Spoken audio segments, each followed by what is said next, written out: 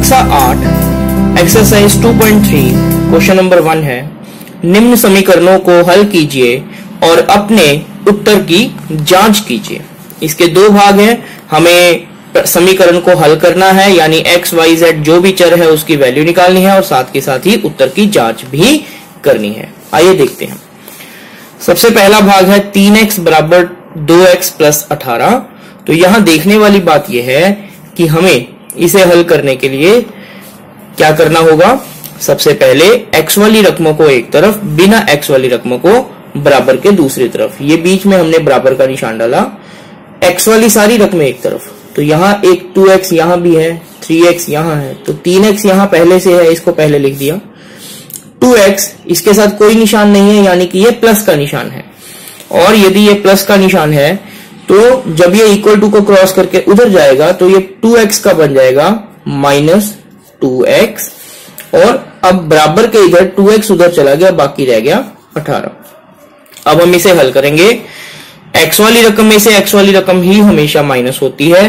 तो three x में से टू एक्स माइनस हुआ वन एक्स उसको हम लिखते हैं एक्स बराबर यहाँ से बच गया है अठारह।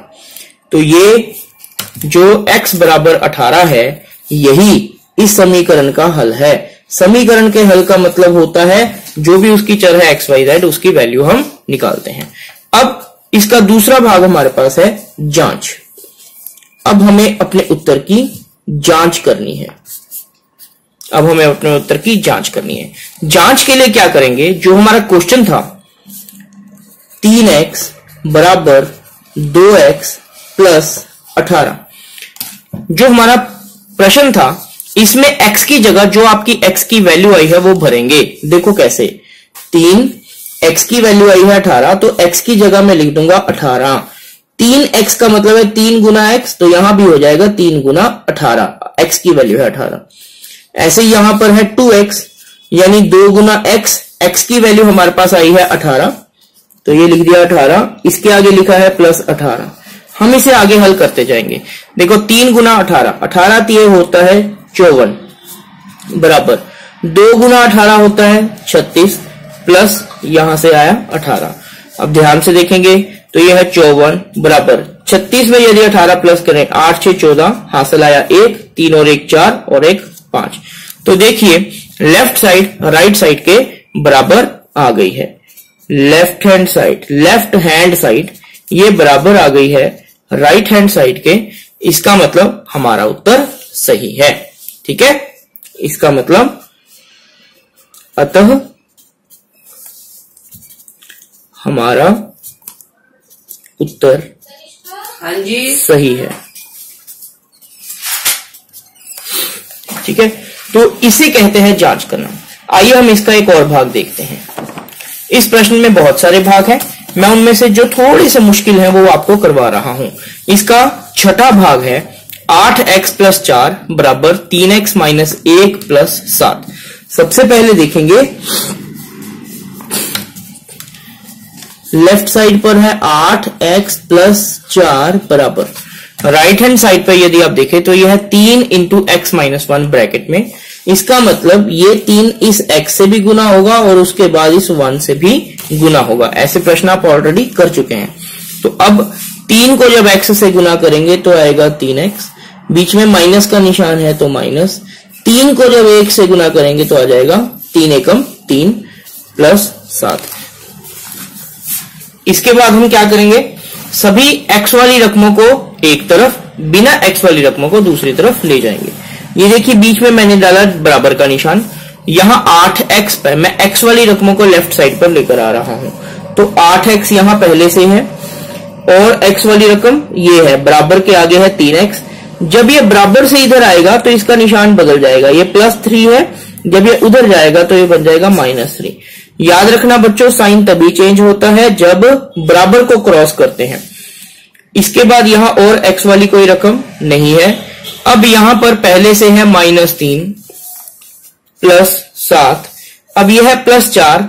जब ये उधर जाएगा प्लस का निशान बदल जाएगा माइनस में तो ये बन जाएगा माइनस चार। ठीक है? अब हम इसे हल करते हैं। आठ एक्स में से तीन एक्स निकाला, पाँच एक्स। आठ एक्स में से तीन एक्स निकाला, पाँच एक्स, बराबर। यहाँ देखें हम क्या हो गया। माइनस तीन प्लस सात, प्लस माइनस माइनस। सात में से तीन निकाले, चार। साथ में बड़ी रकम का साइन प्लस चार, आगे से उतारा, माइनस चार।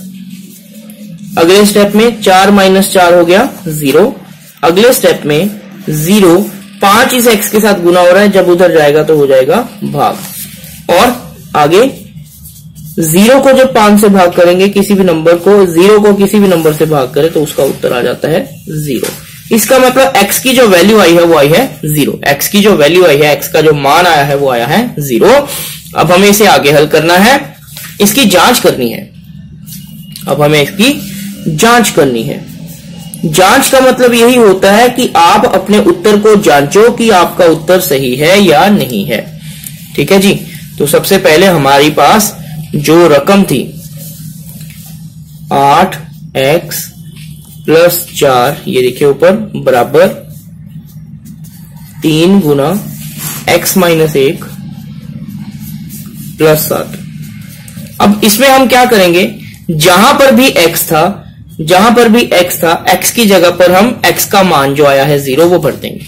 देखो, ये हो गया आठ गुना एक्स की जगह ज़ीरो प्लस चार, बराबर तीन गुना एक्स की जगह ज़ीरो माइनस एक प्लस सात। आठ को ज़ीरो से गुना किया तो आया ज़ीरो प्लस चार, बराबर। यहाँ देखिए क्या हो गया। ज़ीरो में से एक माइनस किया माइनस एक माइनस एक को जब तीन से गुना करेंगे तो आएगा माइनस तीन। ठीक है बच्चों? ज़ीरो से एक निकाला, माइनस एक। माइनस एक को जब तीन से गुना करेंगे तो आ जाएगा तीन एक कम तीन और साथ में माइनस का निशान माइनस तीन प्लस सात। अब ध्यान से देखिए, ज़ीरो में चार प्लस किए तो होता है चार। यहाँ प्लस माइनस माइनस सात में से तीन माइनस किया चार। हा, साइन बड़ी रकम का प्लस। तो यहाँ भी आया चार, यहाँ भी आया चार, यानी कि लेफ़्ट हैंड साइड बराबर है राइट हैंड साइड के। अतः हमारा उत्तर सही है। तो इस प्रकार से हम x का मान निकालने के बाद अपने उत्तर की जाँच भी कर रहे हैं कि हमारा उत्तर सही है। धन्यवाद।